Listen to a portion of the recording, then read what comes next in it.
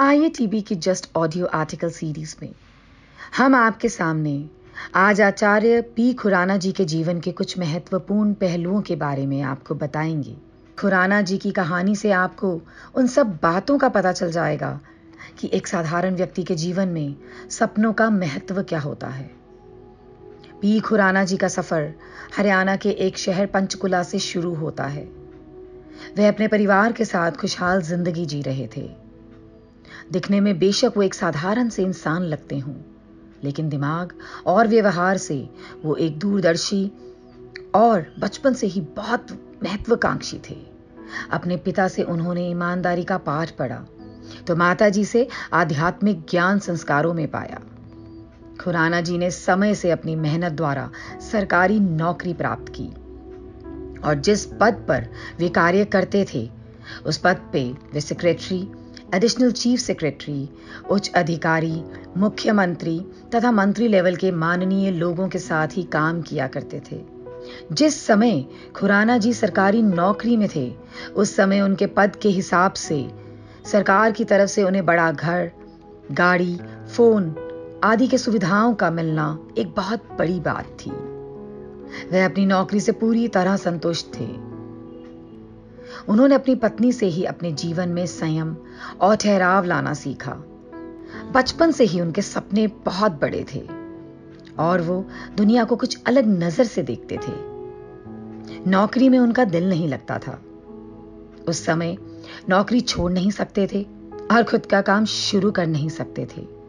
सरकारी नौकरी छोड़ने से पहले उन्होंने अपने आप को अपना खुद का व्यवसाय शुरू करने के लिए सही तरीके से तैयार किया। उसके लिए सबसे पहले उनकी धर्मपत्नी ने ही उन्हें आगे बढ़ने के लिए प्रेरित किया। जब उन्होंने अपनी धर्मपत्नी से ज्योतिष क्षेत्र में करियर बनाने की बात रखी तो उन्होंने भी खुराना जी के फैसले का स्वागत किया। और फिर खुराना जी ने अपने गुरु से ज्योतिष ज्ञान सीखना शुरू कर दिया। और नौकरी करते करते ज्योतिष क्षेत्र में गहन अध्ययन करते रहे। एक दिन ऐसा आया, जब उनको लगा कि अब नौकरी को अलविदा कहा जाए, क्योंकि नौकरी करते करते वे ज्योतिष के काम में पूरा समय नहीं दे पा रहे थे। वैसे उन्होंने ज्योतिष ज्ञान शौक शौक में सीखा था। अब वो उनका धीरे धीरे पेशा बनता जा रहा था। और उनके द्वारा बताए गए उपाय और भविष्यवाणियों की वजह से कई लोगों को फ़ायदा भी हो रहा था।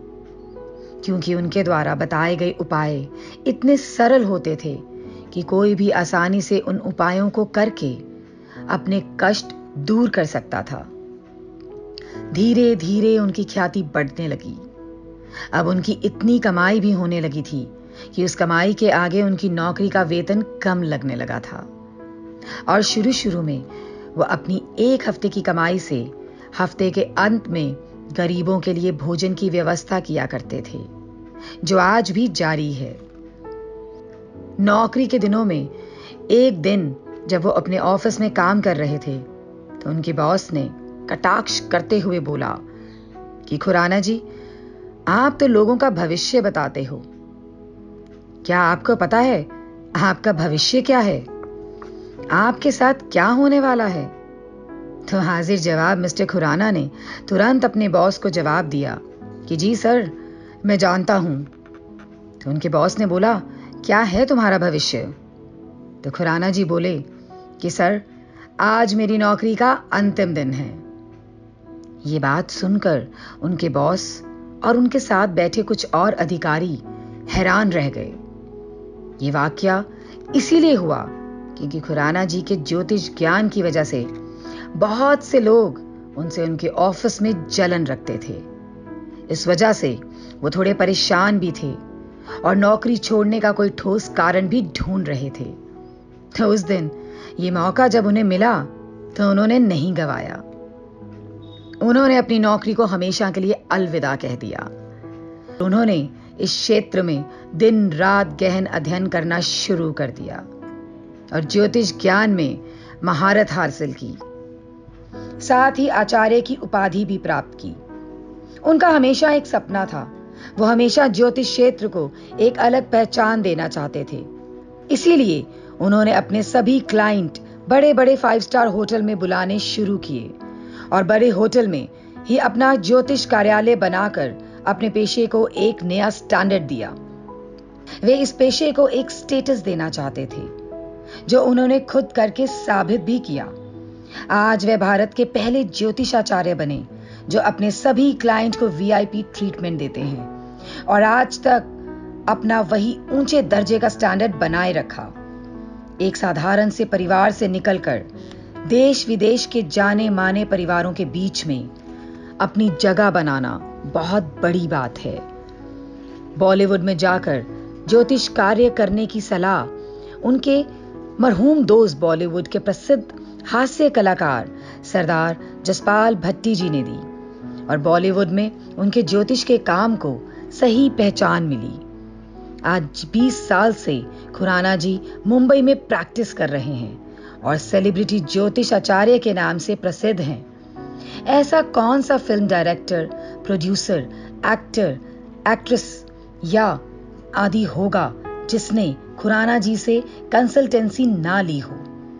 जितेंद्र, गुरदास मान, एकता कपूर, अनु मलिक, राजेश्वरी, करण जौहर, दलेर मेहंदी और बहुत सारे बॉलीवुड आर्टिस्ट खुराना जी से उपाय और सलाह ले चुके हैं। किसी ने अपने घर और बंगलों का वास्तु करवाया तो किसी ने अपनी कुंडली दिखाई तो किसी ने अपने नाम की स्पेलिंग में बदलाव किया। जिसने भी खुराना जी से सलाह ली और उपाय करवाए। उन सबको फ़ायदा पहुँचा। और आज खुराना जी, सुप्रसिद्ध ज्योतिष आचार्य पी खुराना सेलिब्रिटी ज्योतिष और वास्तु विशेषज्ञ एस्ट्रो इंडिया के रूप में देश विदेश में विख्यात हैं। और साथ ही उन्होंने ज्योतिष ज्ञान, अंक ज्ञान टैरो कार्ड तंत्र मंत्र हीलिंग स्वप्नों के महत्व, ग्रह नक्षत्र, प्रेम, रिश्ते विवाह आदि विषयों पर लगभग दर्जनों से ज़्यादा किताबें भी लिखी हैं। और उनकी किताबों को भारत की सबसे बड़ी पब्लिशिंग कंपनी रूपा पब्लिकेशंस ने पब्लिश किया। रूपा पब्लिकेशंस सिर्फ़ फ़ेमस सेलिब्रिटी लोगों की लिखी किताबें पब्लिश करते हैं। इस कंपनी ने डॉक्टर अब्दुल कलाम, डॉक्टर प्रणव मुखर्जी, अमिताभ बच्चन, चेतन भगत, राम गोपाल वर्मा, सलमान खुर्शीद मिल्खा सिंह जैसे प्रसिद्ध व्यक्तियों की किताबें छापी हैं।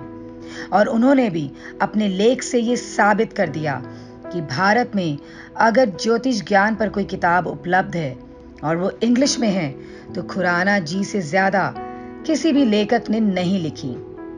और अनगिनत आर्टिकल और कॉलम देश विदेश के प्रमुख अखबारों और मैगजीन्स में भी छपते रहते हैं। आज भी देश के बड़े बड़े टीवी चैनल्स जैसे Aaj Tak ABP news live India India news Zee news आदि के शोज़ में ऑनलाइन वीडियो में, या फिर लाइव सेशंस के द्वारा लोगों की समस्याओं का समाधान आज भी कर रहे हैं। उन्होंने अपने दृढ़ संकल्प और मेहनत से हमें ये प्रेरणा दी कि जीवन में अगर कुछ भी हासिल करना है तो हमें उसको अपनी आँखों में देखना पड़ेगा। तभी तो वो पूरा होगा। जिस समय वे नौकरी करते थे तो ज्योतिष क्षेत्र में अपना भविष्य देखना और आचार्य की उपाधि तक पहुँचना उनके लिए एक सपने जैसा था। लेकिन उन्होंने सपना देखा और उसे पूरा भी किया और साथ ही वे जो कुछ भी अपने जीवन में हासिल करना चाहते थे, वो सब हासिल भी किया और ये ही ज्ञान और संस्कार अपने बच्चों को भी दिए।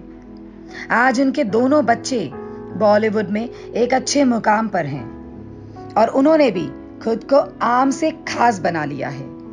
आज की तारीख में आचार्य पी खुराना जी कई तालों की एक मास्टर चाबी हैं।